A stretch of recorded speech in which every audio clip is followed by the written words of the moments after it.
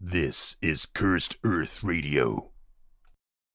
You're listening to uh, this extra thing that we decided to do for Cursed Earth Radio uh, because we just can't get enough of hearing ourselves talk. I know. I love the sound of your snotty, drippy Oh, voice. I know I'm struggling, but we uh, are excited because we were able to play the Judge Dredd Helter Skelter game Again. from Osprey Games and Martin Wallace, designer. And it's not even out yet, so we're kind of a big deal. not not because, uh, as Johnny wanted to pretend on the last episode, uh, that we got it somehow because of this podcast. We- Let me have my fantasy. we ordered it from some game store, and they didn't give a fuck about the release. They date. got one just- copy and said get it out of the Yeah, shop. yeah.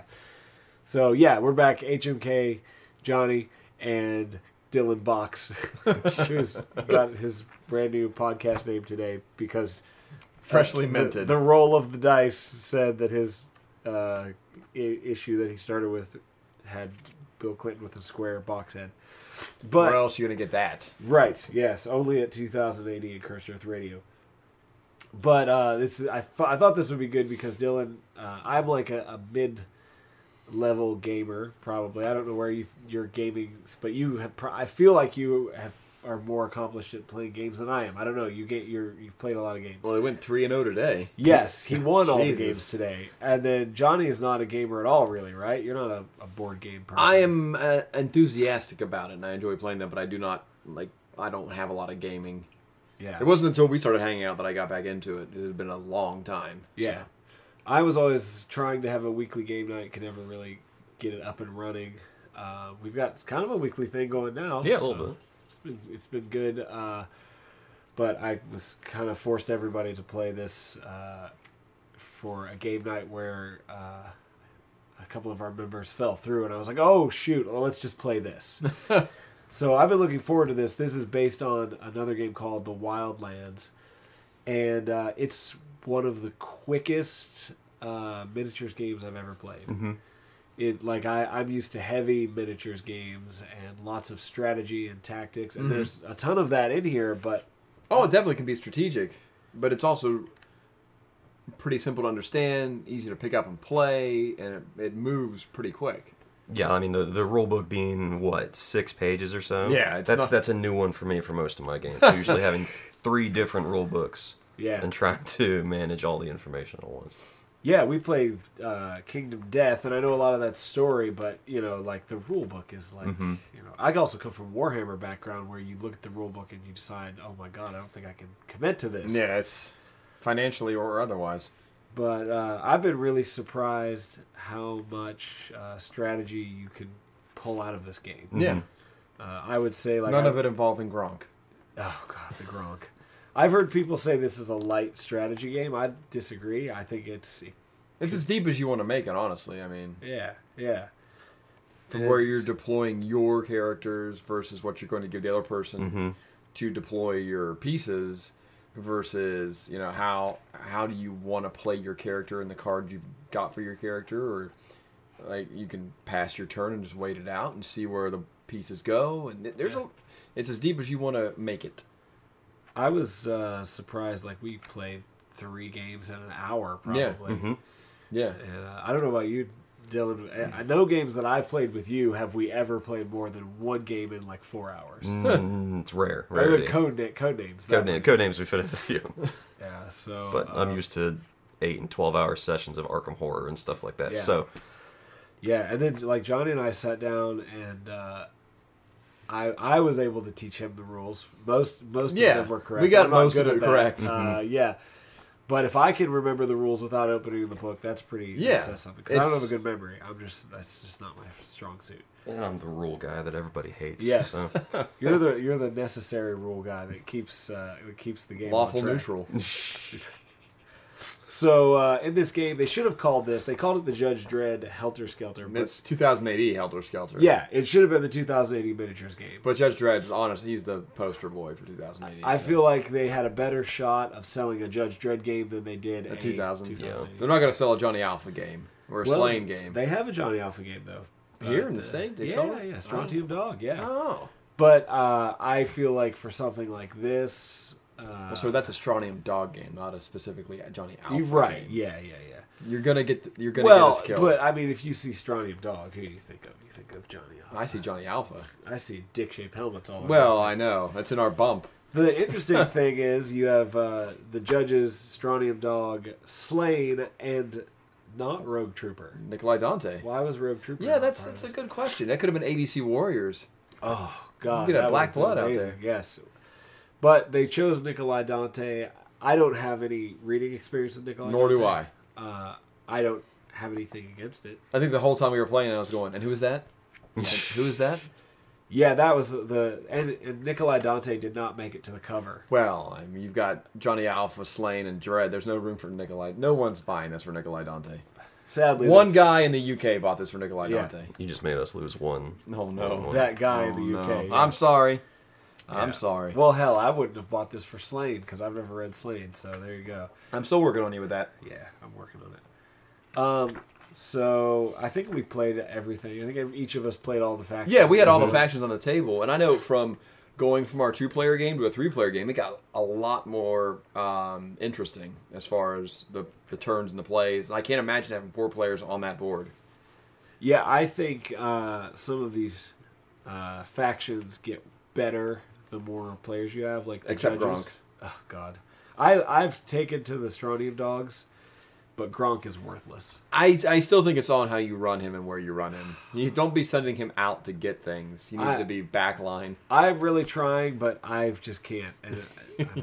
Did you, you didn't have any. You you said you healed once. I healed once and then immediately died afterwards. So what a waste. yeah. Uh, Dylan had no problem whatsoever winning games today. No.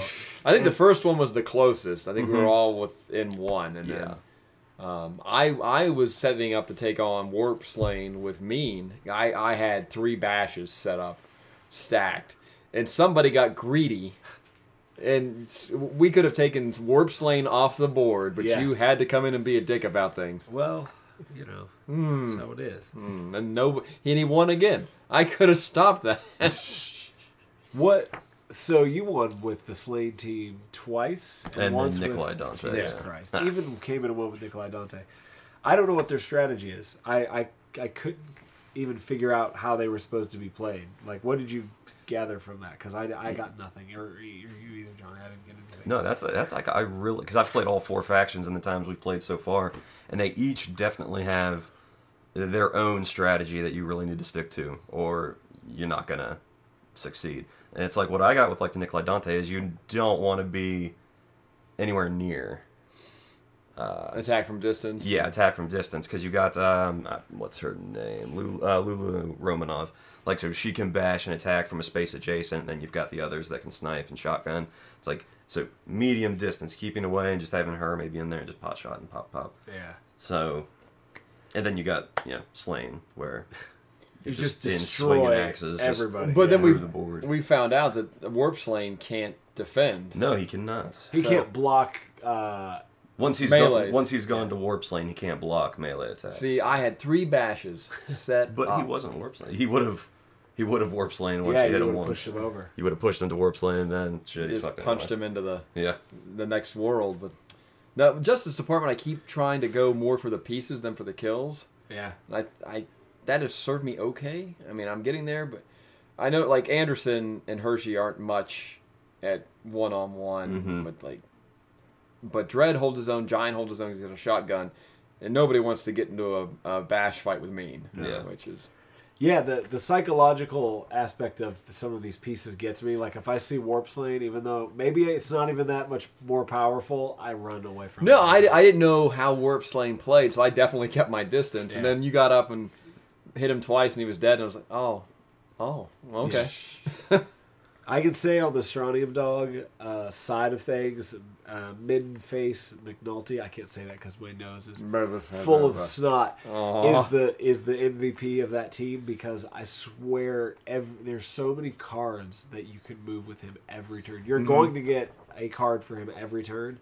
Most games that I've played, I start with three or four cards where I can use him. So he can run around the board and pick up stuff immediately. He almost makes up for the fact that Gronk is so worthless.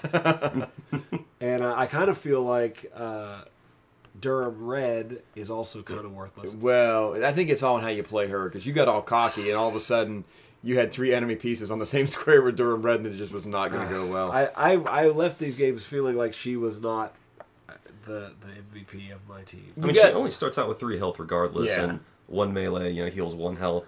Yeah. Long Yeah. run, what do you do? Right. But uh, I like Dylan's strategy. With I knew after the first game that if you attacked, there were probably going to be three more cards behind that attack. yeah. so Overwhelming force. if if I lucked out and had to deflect, I knew that there were going to be three more shots coming down range that I wasn't going to be able. Uh, something cool about this that we talked about the other day is that with the artwork, they got their 2000 AD artist who is often responsible for that character to do the card art. Mm-hmm. So everything looks different. Like they, uh, Sláine was Clint Langley, which he should have got Clint Langley to do the ABC Warriors. Yeah, I just I mean Nikolai Dante, of course, was Simon Fraser. That's like his character. Strontium Dog was Chris Weston. And then uh, Rufus Dayglow did the Judge Dredd. And I think those are the weakest. I love Rufus Dayglow, and I love his art style, but I don't like these little chubby, stumpy. they should have got Cam Kennedy. Yeah, Some of the God. Dredd cards are just So- ugly. They'd just be so fucking ugly, yeah. Bony hips and But uh, like like Rufus Dayglow did the artwork for the Cursed Earth game, and it's Mm-hmm. real fucking cool and amazing. And there's something about these that I just I don't care for, but it's still cool that the actual like I feel like as we get games for 2000 AD, they're also trying to like communicate that that element of like oh who's your favorite 2000 AD artist Yeah. that draws Dredd. So I, I think that's cool. And it's the good thing about this game is it's so easy to pick up, so mm-hmm. quick to play. Hopefully, people who are into tabletop gaming but not necessarily into Dredd Yeah. will give it a shot, and hopefully they enjoy it, and hopefully that makes them want to check out Dredd as a comic book character mm-hmm. and see what what the lore is. I would feel comfortable telling someone this is an easy game. It is. It's yeah, But I wouldn't want them to think that it was a. like a beginner's Like a game. beginner's yeah, game, because yeah. there's a really it, like I said, it's as strategically deep as you want to make it. Yeah. And I know Dylan was looking like five moves ahead and just stacking cards. I was trying to run in the in between spaces and just get to my pieces. HMK was definitely trying to pick fights and getting in and over his head every now and then. I was trying to just randomly. Uh, Your strategy was not knowing what your strategy was, Yeah, which was yeah. equally as hard to game plan for. Uh, yeah, it, did, it didn't work well for me. No, you thought you had the world with Durham Red, and then that just got real ugly real quick. I really hope they do expansions. I heard that the other game, this uh, Wildlands, that Mm. this is based on, has plenty of expansions. It'd be cool if they brought in like the Angel Gang. Yes. that would be great. As The long as I get judges, the uh, as like, long as I get Fink and Ratty. yeah, yeah, of course, of course you would. Wait, I don't know.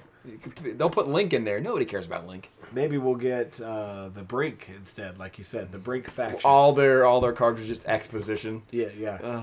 Uh, I noticed, like, uh, I think it was the last game we played where you killed my Judge Giant, and I didn't get to use any of my Jive Talk cards. Um, when I would draw, I would start getting all these Judge Giant cards that I can't do anything with.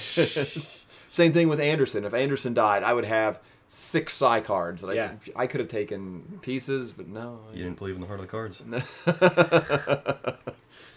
a big part of this for me was learning not to use everything right away because I know Mm-hmm. Conservation, yeah. Like two player, it's okay. You're like, oh, that's all right. I'll, uh, but when it's me and then two other people, and before it gets back to me, it's like, oh god, I, I better not attack because I'm going to need that to defend. So. I tried to look long range, but I was also trying to proactively get closer to pieces. And but then, like the first time we played, I didn't realize that kills counted towards your your, your Yeah, point total count, and that's the thing. You all you need is five points to win this thing. So it's either you take five of your pieces or you kill people. So it's you pick your poison. Um, I think when you're running Sláine, probably kills work a lot easier than getting closer to pieces. I'd say probably. Yeah, he's just got so many. And if you can get him warp Sláine, I mean, Yeah. every attack turns to a bash. You can deal, you know, crazy damage really, really quickly. With So Justice Department, I'm thinking that gathering pieces is more the forte. Killing is a uh, as a secondary. Um, with Strontium Dogs, you said cover was a big part of there. Strontium Dogs is you try to hunker down and send one character. Send Gronk out. Send no, you send Middenface out to pick up all your little tokens. You just just walk Gronk around because you what else are you gonna do with him? Let him get killed. Let Yeah. somebody waste. You could try healing with him. I mean, I've tried. It's so hard to even move him though, because he has so few cards that Mhm. seem to do anything. Yeah. It's like uh, I don't know, but I still they're still my favorite factions. so, really, yeah. Tronians. And you said um, um, Nikolai Dante was more range, mid range. Yeah, like So not getting in direct conflict. It felt like like keep them at range and uh, don't get into the same space. so there's something for everybody in this, and it's uh, it's really it's a well put together game, well organized, Mhm. easy to pick up, fun to play, and hopefully. Uh, people who play tabletop, like I said, that don't necessarily know who Dredd is, will give it a shot. I think it's definitely worth the asking price, and Yep. No, absolutely. You get two a board with two sides. You get four factions, and then um, It looks it looks so basic. Even the board, when I Yeah. first saw it, I thought, ah, it looks just I can't see how that would be fun. It looks so basic, but it, but it is. Yeah, 'cause it's very misleading. I, I'm I'm ridiculous with my games. I like games with like depth and Mhm. like weight. Yeah. Like way too many frickin' rules and complications and little minutia to track of. This kind of hit it for me. I mean, it's good. It's Awesome. it's it's got that. You know, you got to look under the surface level and find find your own strategy Yeah. and stuff like that. And that's what I like about it. Maybe we'll get a Clinton box uh, expansion. it's just fucking weird. But yeah, I could definitely see him adding Dark Judges. I mean, that's a that's a no brainer. I guess it's all going to depend on how many people pick it up and Yeah, uh, that's the that's the other the flip of the coin of the 2000 AD. They're Yeah. not the fan base even in the UK isn't as huge as you and I, uh, HMK and I thought. Yeah. like, and it's so it's niche over there, and it's real it's niche niche yeah. over here in the cursed earth. We just thought people walked around all day with their Judge Dredd T-shirts on, Nope. drinking their Judge Dredd uh, Synthicaf, and it's not like that. No, no, it's kind of shattered my perceptions of. So we're niche no matter where we go. Yeah, If I could just get that recycle shirt. but uh, it has been a very hopeful Yeah. uh, year because we've got this is the fourth game of 2019 or the third of four. Yeah, Warlord comes out next month, right? Yeah, yeah. So we'll Your definitely fatty do- stampede. We'll definitely do an episode on that one. You're just fatty, fatty, fatty. yeah, I just don't want to paint. I don't want to paint. Neither do I. uh, What's the, the other thing I liked about uh, this game? You don't really have to paint the miniatures. Mhm. they look cool as it is. yeah, they're inked, which Yeah. is which is really. I like cool. that wash look, and I'm Yeah. lazy and I can't paint, so it's a win-win-win. Yeah, horrendously untalented. I'm HMK somehow has that. That's he's in his skill set. We found out when If we I, did back I into get in 40k, a, like a manic painting episode, I'm good. which you did when we went headlong to 40k and never Yes. played. Never played. We Never played once. You and I played once. I played with uh, one of our other friends about five times. We need to play. We do. I'm still ready, I still have my stuff. It's it's blacked, but we'll we'll play. But we either have to do it before or after November because they. Yep, Uh, it's just a Judge Dredd. yeah. So So go out and buy this game when you get it. When it comes out, it comes out October 31st, right? 29th. 29th. That could be totally wrong. You're the fact checker. right? Don't look at me. Don't you don't you put that We're evil gonna- on me. We're gonna say the 29th. So. December 43rd. comes out on December 43rd, folks. Oh. Fifth Tuesday of next week. Oh my God! Let's get the fuck out of here. All right, you listen to Cursed Earth Radio. Radio. Oh, we're doing that? Uh, I don't know. Okay. You- this is H and K. cool, Johnny. Cool. and Dylan Box. Holy shit.